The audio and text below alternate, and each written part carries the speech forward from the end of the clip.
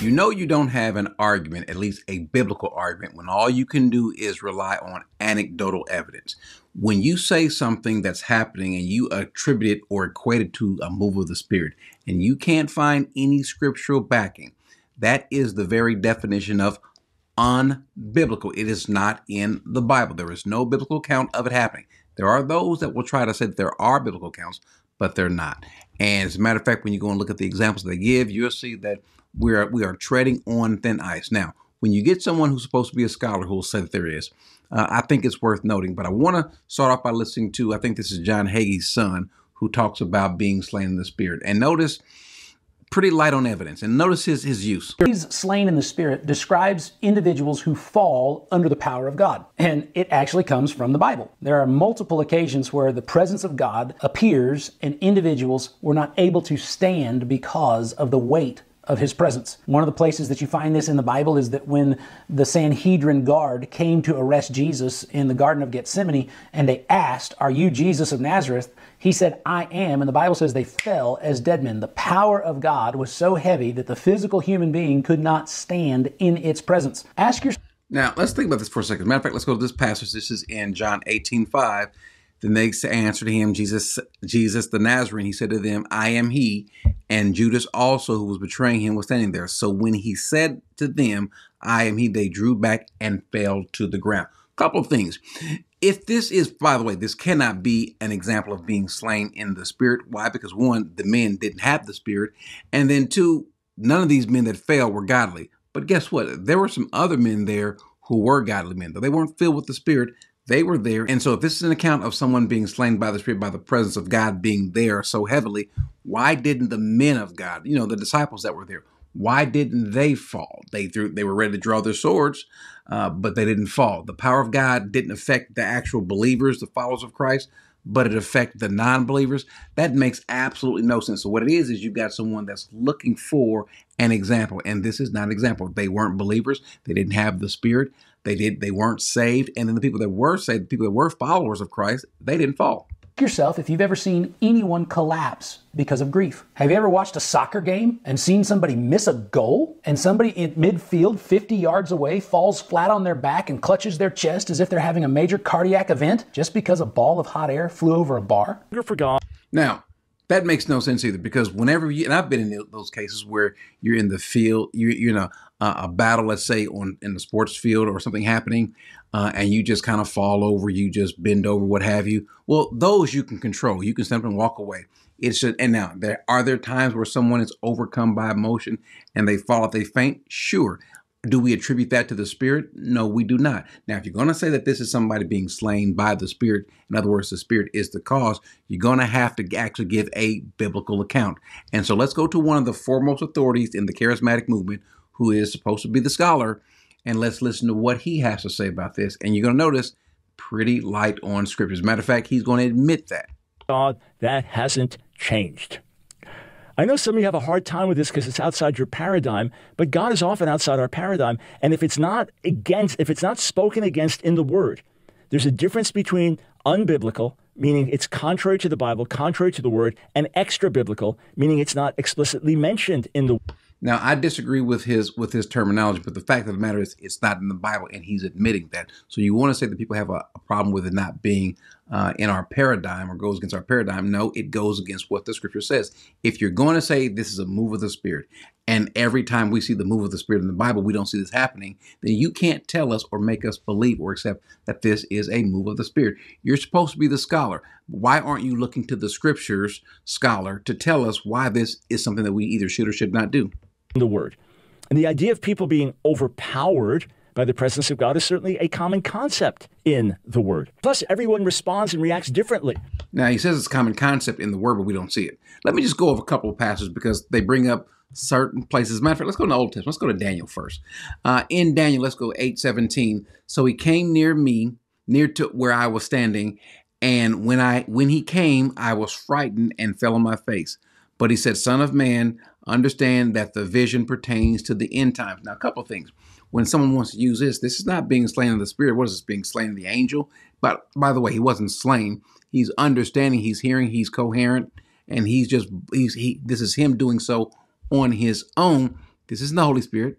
This isn't God. This is an angel. So that couldn't apply either, right? So that's one example that we can go ahead and mark off as an actual example. And over the years, I've prayed for thousands of people and seen them fall flat on their face, and others fall on their back. And I've seen them touched equally the same way. So, again, it's such an odd thing to me that people will get in an uproar over this. You know, send me a video. How can this you call this person a brother? Look, all these people falling as he's ministering. That's supposed to mean they're not a brother. There's, that's supposed to mean they're not saved. That's supposed to mean they're guilty of some fanaticism or emotionalism. Show me, show me. Just here, I'm a Bible, I'm a word person. I'm a Bible person, like many of you. No, you're not a Bible person. You couldn't be because you wouldn't be advocating for this. Now, a person falls out or what have you. No, that doesn't mean they're not saved, but it means not being the Spirit is not moving on them because we don't see that. That's all it means. Many of you, show me in the Bible where it says judge by the yeah, test the spirits. How? Well, you look. You look at the Word you look at the scriptures now. He's not going to look at the scriptures. As a matter of fact, what he's going to do to try to prove his point, he's going to ask people for their testimonies.